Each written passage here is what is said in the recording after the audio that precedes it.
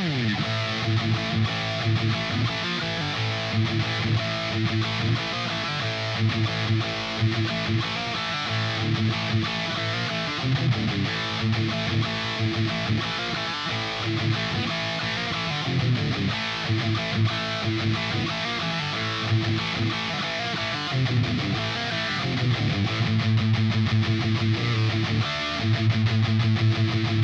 back.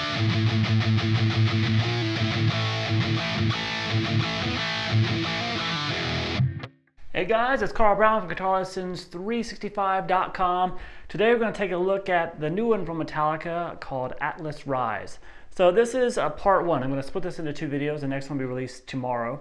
Um, now what we're going to be doing here all the way in this one is all the riffs all the way through up to the first guitar, well, the main guitar solo.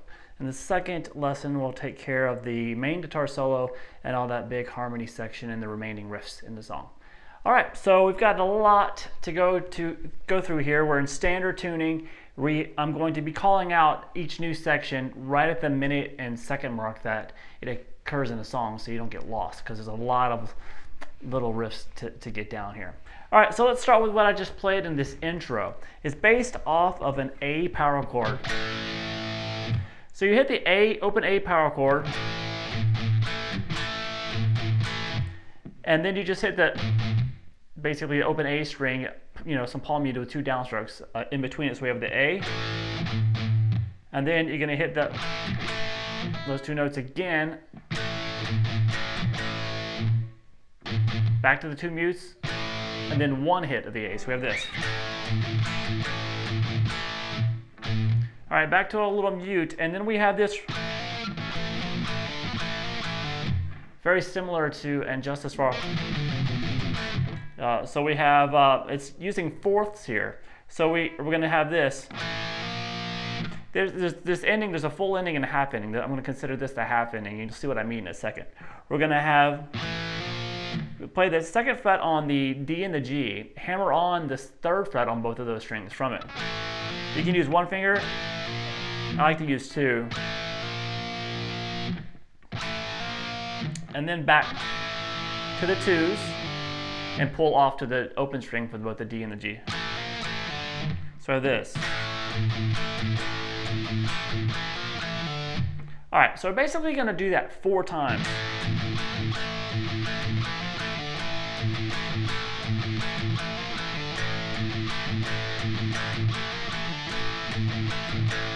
Now the fourth time, instead of doing this little, what I call the half ending, we're gonna do the full ending, which looks like this. All right, so we have this. So that's the same beginning. And then you're gonna pick all these notes. Three on the A and the D, heavily palm muted, then two on those same two strings, then the open A and D, and then the third fret on the low E and the A together. All right, so all together for that riff.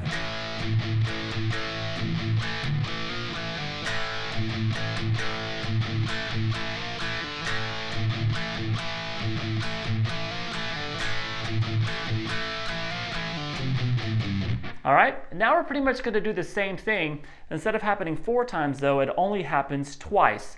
So the second time through the riff, we're gonna do the full ending. So the first time, half ending, second time, full ending. So it'll look like this.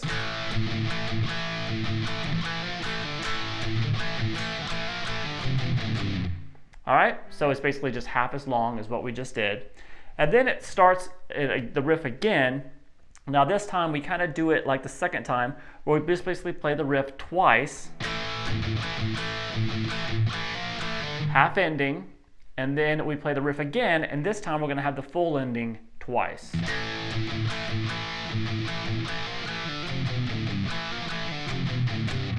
All right, so it's a lot to think about there. So we basically have the riff four times with the half ending each time except for the fourth time. Okay, that's the half ending. So it's just basically cataloged like that four times with the full ending the fourth time. Then you play it two times with the full ending the second time there. So we're six times through the riff so far. And then two more times and that very last time you play the riff, you do the full ending twice. If you get used to the song enough, just listening to it over and over again, um, that is, you know, you'll just be able to lock in and know what's coming. So that's probably the best thing. You, will know the riff, right? All right, so then we have this at the 21 second mark. We have this riff, which is pretty easy.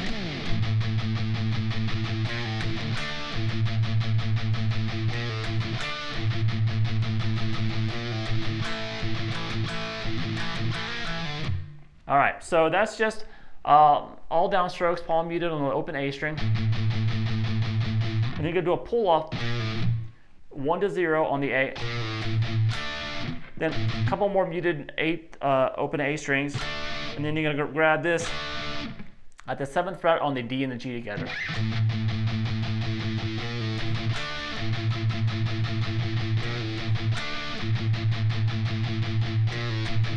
And then the back to same ending. The little, the same as the intro riff there, just with the half ending there. Just it just happens once.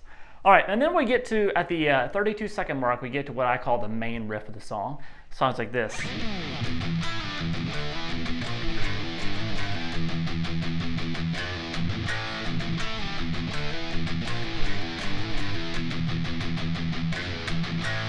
All right, so um, we're gonna do that riff four times and then just have the same ending The kind of same ending before. So what's this riff? So now we're down to the open E is what we're chugging on a couple times. And they're gonna come to this power chord at the seventh fret on the eight of the D string. So seventh fret there, ninth on the G. Play that, slide down two frets, then come over to the A string, fifth fret, power chord play that and move slide up two frets. So you're gonna have the palm muted low E string twice between each one of those. All right, then back to the low E palm mutes, and then you have this. All right, so that's take the power chord off the sixth fret of the low E, slide down to five, then the third fret power chord, kind of slide into the open power chord. And then third fret power chord again, slide up to five, and then back three to zero. So we have this six, five, three, zero, three, five, three, zero. And then you're just playing the, the E uh, palm mute. And that's just the little one pulling off 1 to 0 now on the low E over to the A power chord.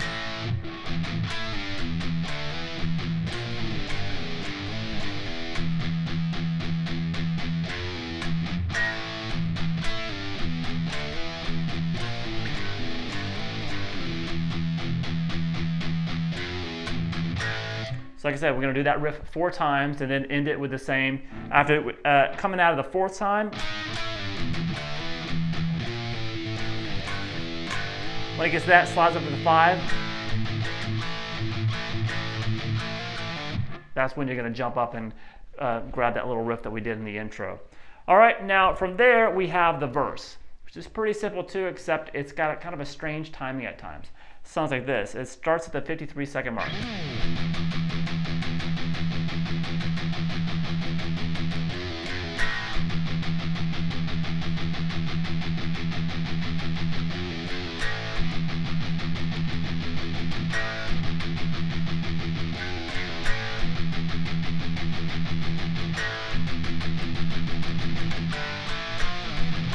Into the pre-chorus there. So it's just a playing on the low E string, all downstrokes, heavily palm muted, and into this, pulling off one to zero twice on the low E, then grabbing the power chord, the A power chord.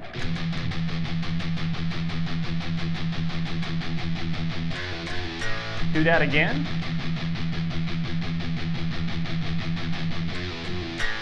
Now the second half of the verse kind of does something similar. He just throws a little A power chord hit in there. So it sounds like this.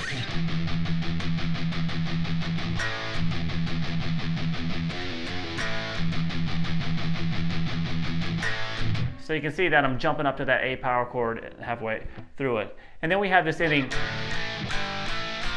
that leads us into the uh, pre-chorus. Now this pre-chorus riff, let me just show you here. We have this open D and G string together, then the second fret on both those strings, and then here, the third fret. Now he may be playing it here, because it allows you to do that big slide there that happens in the pre-chorus. Now this is at the 1 minute and 13 second mark. So I'm going to let you choose. Now it, it makes sense at the end to play it down here. The chord that leaves the, the last chord in the, in the uh, pre-chorus. But you can play this riff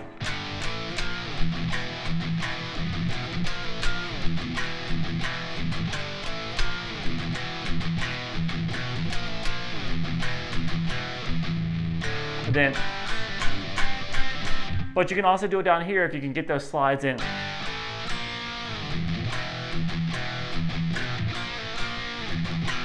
So basically those, you decide where you want to play that. All right, so we're gonna have this. I'll, I'll just play down here to make it easy to get to the E chord.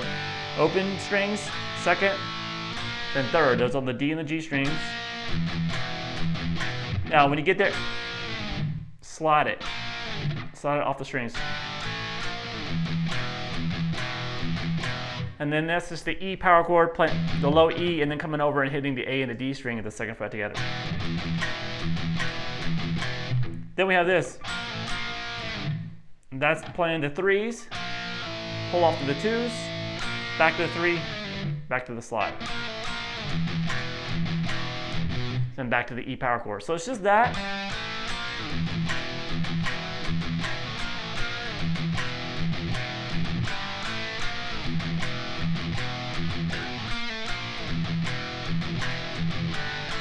Now the last time you're gonna wanna be down here, open, not, not playing it here.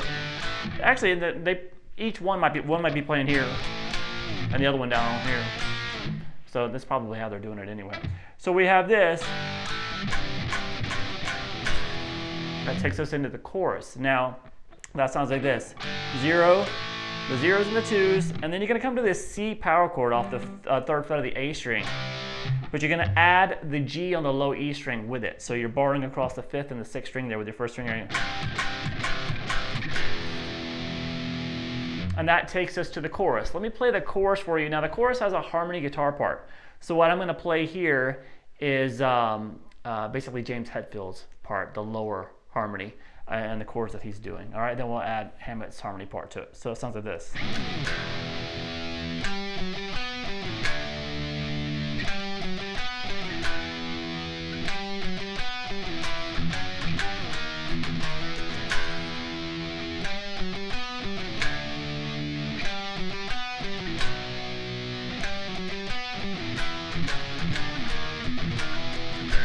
All right, so we have um, that first chorus is a little bit, a little bit uh, shorter than the other ones. So we're gonna start here with the low E power chord. Then that's 10, 9 on the A string. Back to the 10, over to the 9 on the D, and then 10, 9 on the A. And then you're gonna grab the power chord of the 10th fret of the low E. Try this. Back to that same uh, melody line. And then to an open E power chord. Which is just the E power chord here at the 7th fret. And you have the open strings around. Back to the melody. And then we have this. So that's just that power chord here on the low on the 7th fret of the A string to 7, 9, 10, 6, and then slide back to sevens. And while in between those chords, he's, he's hitting the low E in there. And then you start over, same melody. Here though, second time through, take it down to the seventh fret power chord there off the low E string and then back and now we're going to end the chorus by moving up the same 7, 9, 10, except now adding the note, that same note on the adjacent sixth string as well. So when you're playing that seventh fret, bar across to the seventh fret of the low E string. All right, and then we're back to the main riff. Now over that we have a harmony guitar line that comes in the second time through the chorus. So I'll just pick it up there.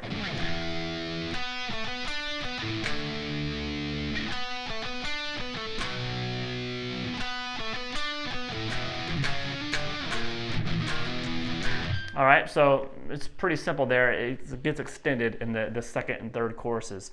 Um, so just wait for that. So we have this, he plays the same melody line with James the first time through. Same.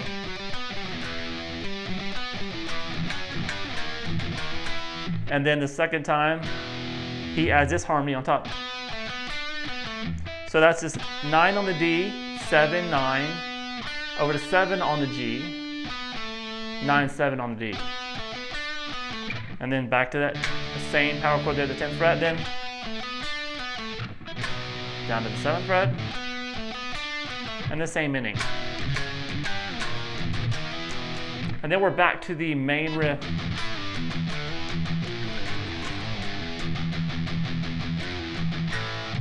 Now over that main riff at about the uh, we have a little bit of a, a, guitar solo there. So let me play through that guitar solo for you real quick. Um, it's short but sweet, so here we go.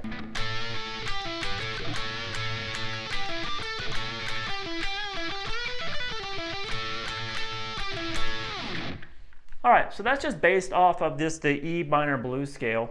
Now we're gonna be doing a lot of double stops here, and as with a lot of bluesy solos, just mm, getting it just right is a little bit difficult. Plus he uses a lot of wah all over the place, so it makes the notes a little bit hard. You got, you to use the pedal really to make the notes pop out. So we're gonna have, uh, that's real apparent in the main solo. So we're gonna start here. So that's just a little bending at the, the 14th fret on the G and the B together. Hold down, you can use two fingers if you want. Then 12 on the G, 14 on the D, and 12, 14 on the G. So we have this.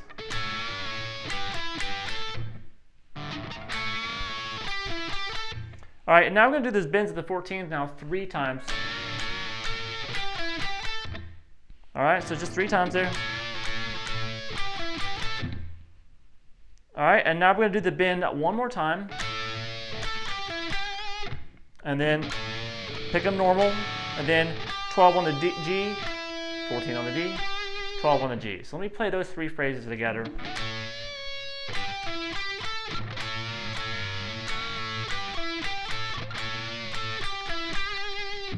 All right, now the next phrase. So there's a little quick little lick in there and you just end it. So we're gonna do 14 on the D, 12 on the G.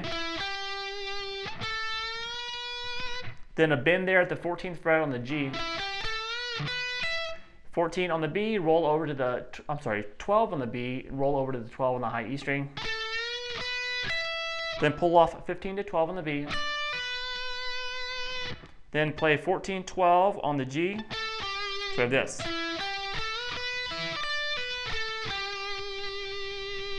To 14 on the D, back to 12 on the G. And then we're back into those double stops again on the, the uh, G and the B together at the 14th fret. Do a double stop, then play them without the bend.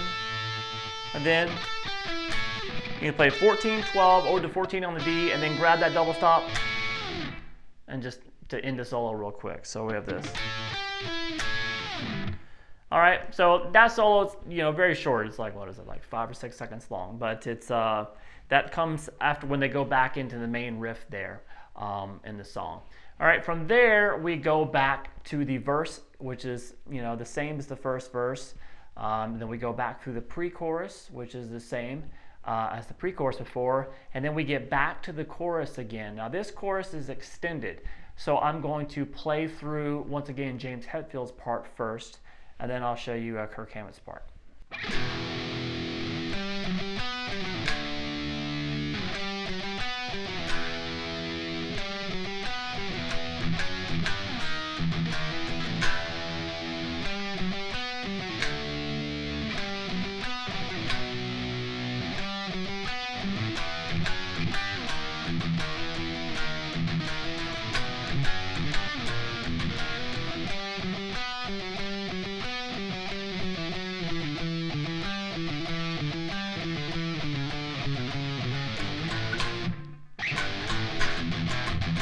All right, so I'm assuming that's uh, James Hetfield's part at least.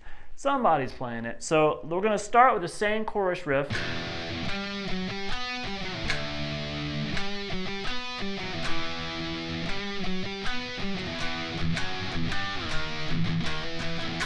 And once again, as you're starting that chorus riff the second time, the harmony part starts on top of it. And uh, James continues to play this.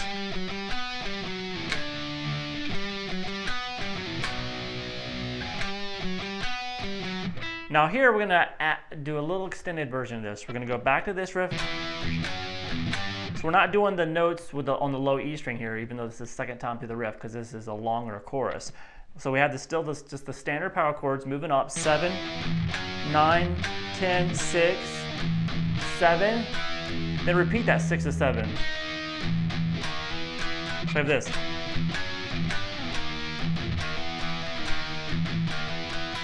And then you're gonna end it with the power chord adding the sixth, the note on the sixth string. So let me just play for you that so you, you know what I'm talking about that.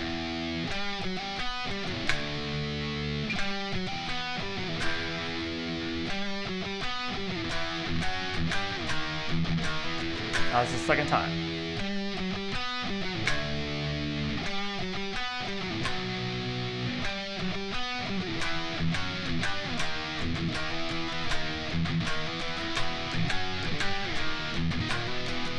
All right, from there we have the little harmony guitar part. So that's back to this riff.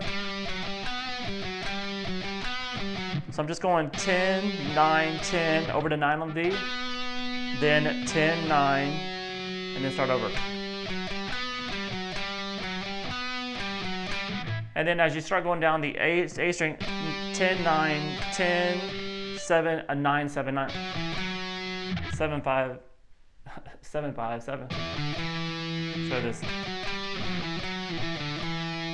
And when you get to this note, just playing it just like a. He's doing it here. Which is 7, 5, 7, over to 5 on the D, then 7 and 5. So it's basically three notes. So we have this.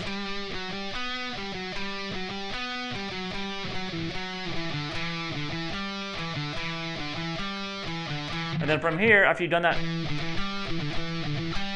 that riff twice there, we have this. That's just 757, 545, 424. So, and then we just have 2 0. And then power chords 3, 5, 7 off the low E string. And then 3, 5. That takes us into the next riff. All right, so just uh, Hetfield's harmony part real quick.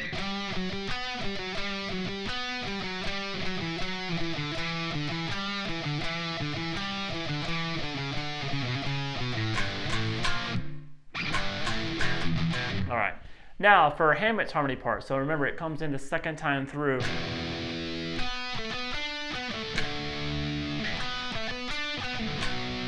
Right here.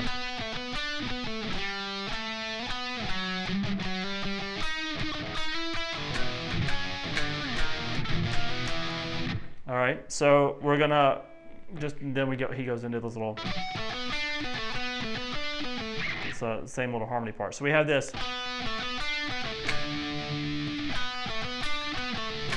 So this is where it changes. When we did the extending Hetfield's part, Hammett does this.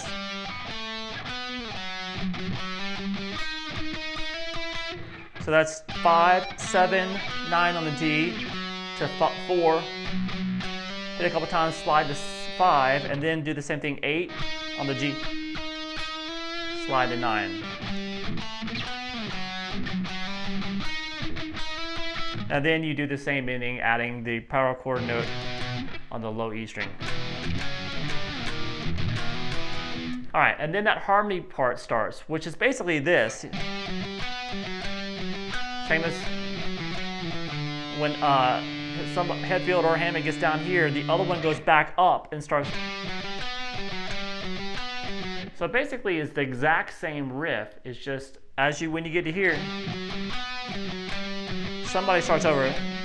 Let's we have this.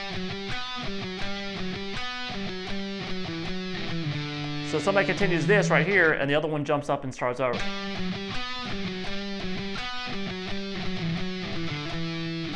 And when they get here, 5-4, that's that 3-5-6, that's where they're at.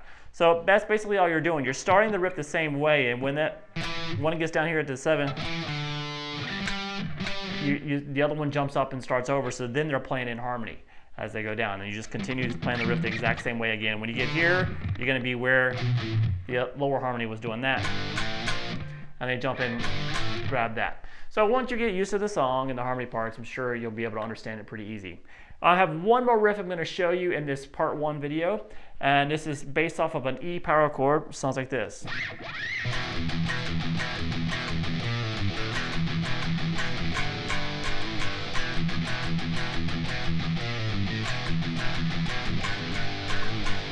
All right, so that happens at the 3 minute and 11 second mark. And it's the riff that's going to start the guitar solo, um, uh, which I'm going to break down all the riffs underneath the guitar solo in the next video when we actually teach the guitar solo. So let me just play this. It plays by itself a little bit off the low E. So you're hitting these two strings, the A and the D string with the second fret there, the low E power. We have this. I was pulling off 1 to 0 on the A string, over to 3 on the low E, back to the open A. So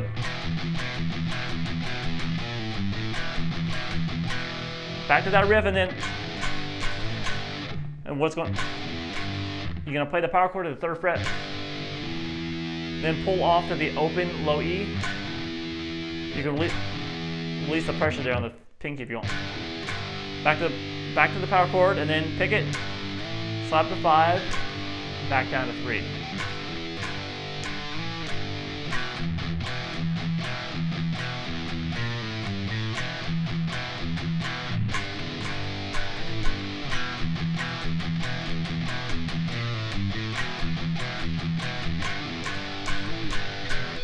All right, so in the next, in part two of this, well, I'll uh, give you guys tomorrow. We're going to start with a guitar solo and finish out the rendering that little cool little harmony section, the musical interlude. It's pretty cool. I'll see you then.